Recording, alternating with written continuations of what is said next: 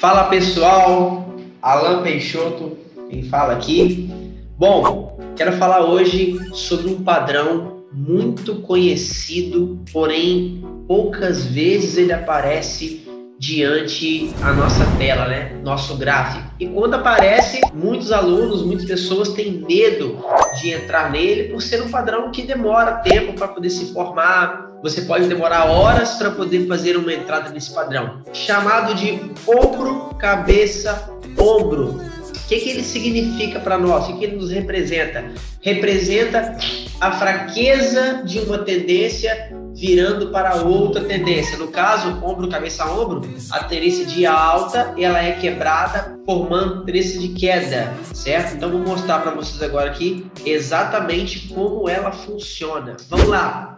Se vocês repararem, nós temos aqui, ó, o mercado abre nessa região, ele sobe, faz um pivô de alta, sobe muito forte. Quando chega aqui, ele encontra uma resistência, volta a cair, encontra suporte e volta a subir. E aí ele faz, ó, um ombro, uma cabeça e encontra resistência forte e volta a cair. Encontra suporte no mesmo lugar e faz uma terceira, um terceiro pivô, né? Ó, um segundo pivô, um aqui um pivô de, de alta e agora um pivô de baixa. Quando que eu entro nessa figura, Alan? É exatamente quando é quebrado para baixo essa linha de suporte, chamamos de linha de pescoço. Como que funciona? Você vai traçar uma linha aqui, ó, de suporte e quando ela for quebrada para baixo, você entra vendendo e vai surfar uma de queda. Ah, mas qual que é o alvo de um ombro, cabeça a ombro? Você vai pegar aqui, é muito simples saber a projeção de um alvo dessa figura. Você vai pegar a linha, ó, do pavio de cima até a linha de pescoço. Tá vendo aqui? Deixa eu cancelar essa linha para vocês verem. Vocês vão pegar essa linha, essa cabeça e vai projetar esse mesmo espaço para baixo. É o alvo da, da operação de um ombro, cabeça a ombro. Então, no caso, o nosso alvo seria exatamente no 43.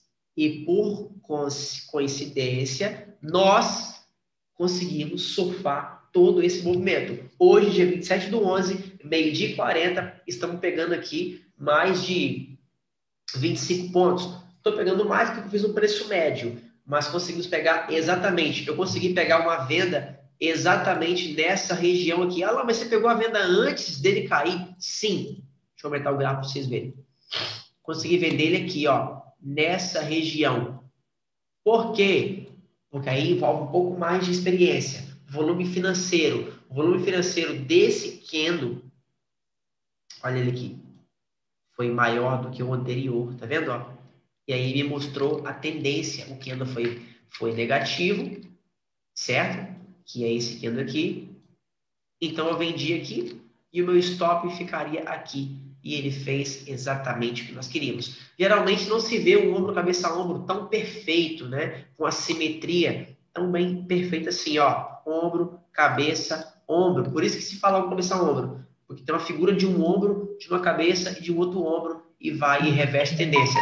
Estou agora aqui com, online com alguns alunos. Tamara, tá me ouvindo? Oi. Você presenciou toda essa queda junto com nós? Sim.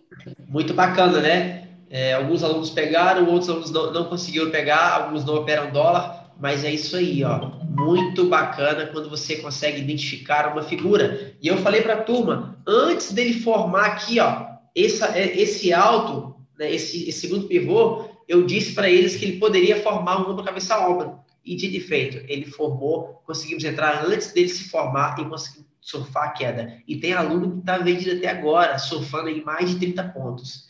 É isso aí, pessoal. Bom, eu queria falar um pouco sobre isso, ombro, cabeça ombro, assiste os vídeos, todos os vídeos, não perca a oportunidade, se inscreve no canal, ativa o sininho, dá um like, isso vai ajudar vocês nos próximos vídeos que eu postar, para vocês também identificarem. Qualquer dúvida, comente aqui no, no canal, no comentários, o que, que você quer saber uma próxima é, oportunidade eu estar gravando o vídeo. Então, ombro, cabeça, ombro, figura de reversão de tendência.